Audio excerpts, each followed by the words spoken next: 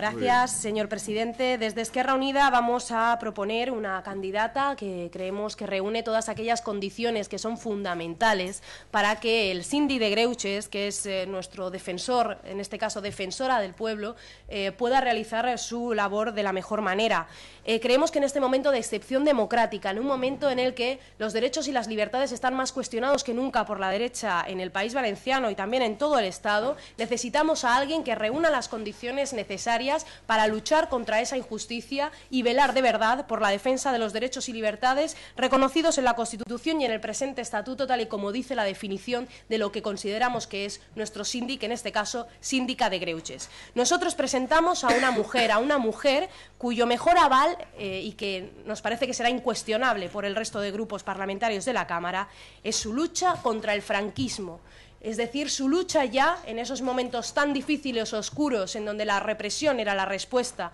única por parte del Estado, una mujer que luchó por la justicia social ya en este momento y que, por supuesto, en este momento democrático también lo hace por todas aquellas injusticias que están sufriendo, en este caso prioritariamente también las mujeres. Es una mujer feminista, es una mujer feminista que ha luchado desde la vertiente sindical tan denostada por la derecha, por cuanto es tan necesaria para la defensa de los derechos y libertades de los trabajadores y trabajadoras del país valenciano, la gran mayoría social.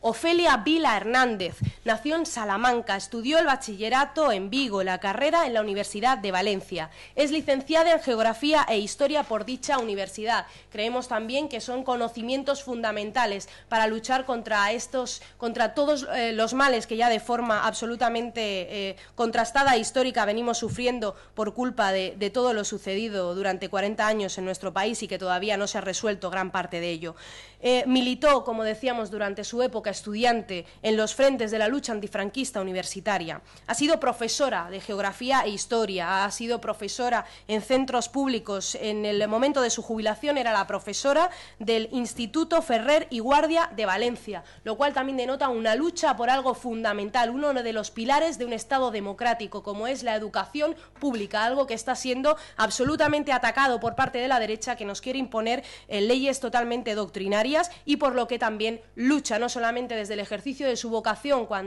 eh, cuando, era, cuando estaba en ejercicio, sino también desde este, en este momento lucha también en todas aquellas mareas que lo que pretenden es defender los pilares fundamentales de un Estado de Derecho democrático, la educación, la sanidad y los servicios sociales.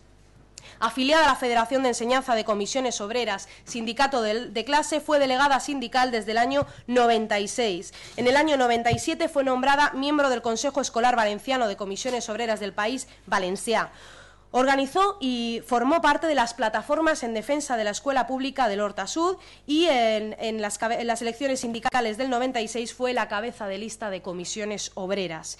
Pasó a formar parte en el séptimo Congreso Confederal de Comisiones de la Comisión Ejecutiva Confederal, teniendo a su cargo la responsabilidad de la Secretaría de la Dona. Como decíamos, algo fundamental, creemos, para quien tiene que velar por los derechos y libertades en el país valenciano, como es Ofelia Vila, los derechos de las mujeres, que están siendo las que de forma más, eh, más clave están sufriendo tanto la feminización de la pobreza como los ataques de la derecha. También en este caso participa plenamente en todas aquellas plataformas que luchan por el derecho derecho a decidir sobre nuestro propio cuerpo y como tal creemos que defiende, por tanto, ya a partir de, su actividad militante la defensa, la defensa de los derechos de las mujeres y que por tanto lo haría de forma excepcional en el cargo de síndica de Greuches. Pasó a formar parte en el, en el eh, octavo Congreso de Comisiones Obreras del País Valenciano de la Secretaría de Cooperación Internacional y Movimientos Sociales y formó parte del Consejo Valenciano de Cooperación. Como responsable de cooperación, los proyectos de aula de ayuda al desarrollo que se llevaban desde la Fundación Pau y Solidaridad